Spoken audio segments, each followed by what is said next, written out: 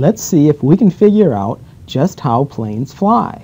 Let's start by taking a look at the first wing, the Wright brothers glider. This is the only known photo of the Wright brothers glider.